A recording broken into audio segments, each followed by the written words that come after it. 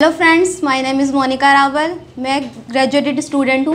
मेरी फ्रेंड है रेनू, मैंने उससे पता किया था करियर कोचिंग के लिए तो उसने मुझे एपेक्स करियर कोचिंग कोचिंग का सजेशन दिया। तो मैं यहाँ पर क्लासेस ले रही हूँ एस एस की।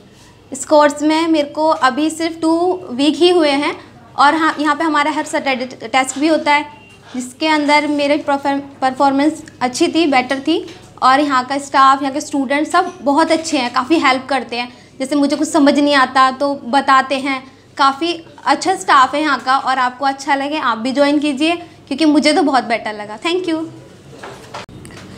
हेलो फ्रेंड मेरा नाम शिवम है और मैं एस एस की तैयारी के लिए अपेक्स कोचिंग को तीन महीने से ज्वाइन किया हूँ और यहाँ पर मुझे ज्वाइन मतलब बहुत अच्छा महसूस हो रहा है। यहाँ पर अच्छे टीचर हैं, अच्छी पढ़ाई हो रही है और हर सप्ताह के लास्ट मतलब शनिवार को टेस्ट भी होता है।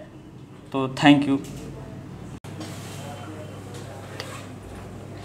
hello friends my myself Manoj Pal और मैं, मैंने मैंने एस एस सी के लिए यहाँ पे कोचिंग कोचिंग ज्वाइन किया है अपेक्स कोचिंग सेंटर जो कि ये बहुत कोर्सेज बहुत कोर्सेज प्रोवाइड करता है, जैसे I S P C S और and and other and other state and other state government jobs के लिए प्रोवाइड करता है और इसको ज्वाइन किए हुए भी ये तीन महीने हो गए हैं और काफ़ी यहाँ पे रिज़ल्ट भी अच्छा देता है और यहाँ का जो स्टाफ है वो काफ़ी फ्रेंडली है।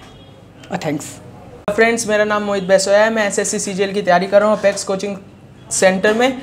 और मैंने और जगह भी पता करा था इस एस एस सी के कोर्स के बारे में पर मुझे इतनी अच्छी फैकल्टीज़ नहीं दिखी। जितनी अच्छी फैकल्टीज़ मुझे अपेक्स कोचिंग सेंटर में दिख रही है। मुझे यहाँ लगता है कि मैं जल्दी ही दिल्ली पुलिस में सब इंस्पेक्टर बन जाऊँगा।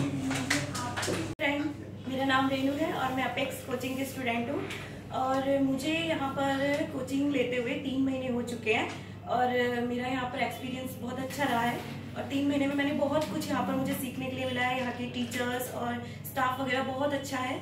और आ, मुझे लगता है मेरे अंदर बहुत सारी चीज़ों में बहुत सारी चीज़ें बदलाव आया है मेरे अंदर।